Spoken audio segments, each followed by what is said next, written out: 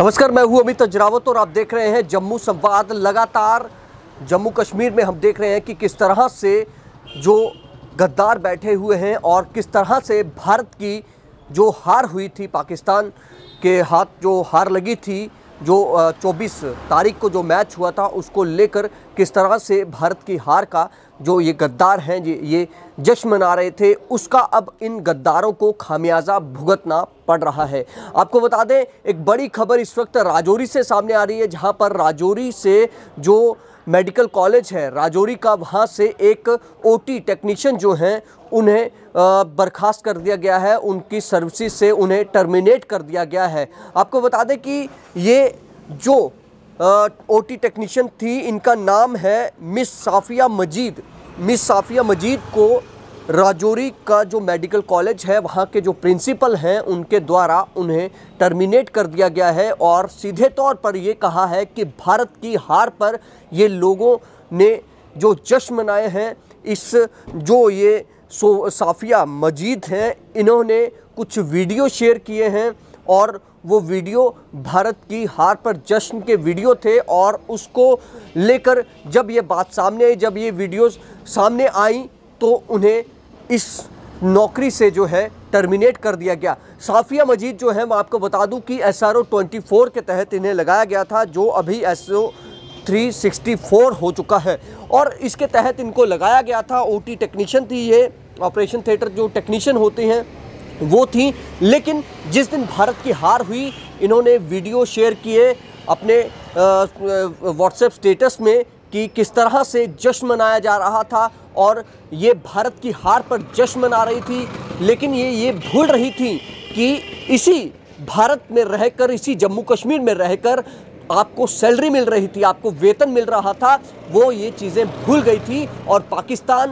की के लिए जो प्रेम है, वो दिखाया जा रहा था। जब ये वीडियो सामने आया तो पुलिस की तरफ़ से बाकायदा जो प्रिंसिपल हैं, उनको इतला किया गया, उनको ये बताया गया कि ऐसे ऐसे एक जो आपके कॉलेज की, आपके मेडिकल कॉलेज में जो एक कर्मचारी हैं, जो एस आर के अंडर काम कर रही हैं ओटी टेक्नीशियन का, उनकी तरफ़ से इस तरह के वीडियोस जो हैं, भारत के खिलाफ जो वीडियोस बनाए गए थे, वो वीडियोस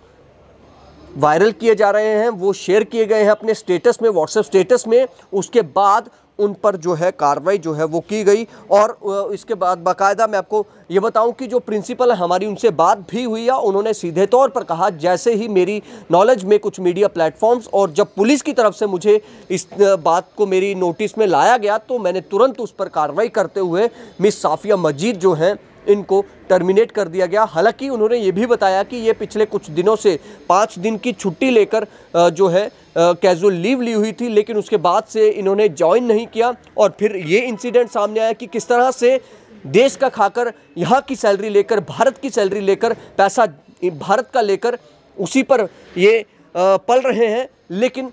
ईमानदारी इनकी पाकिस्तानियों के प्रति है और भारत की जीत पर ये भारत भारत की हार पर ये जश्न मना रही थी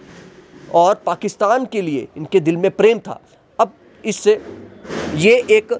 बड़ा ही सटीक उदाहरण जो है, ये प्रिंसिपल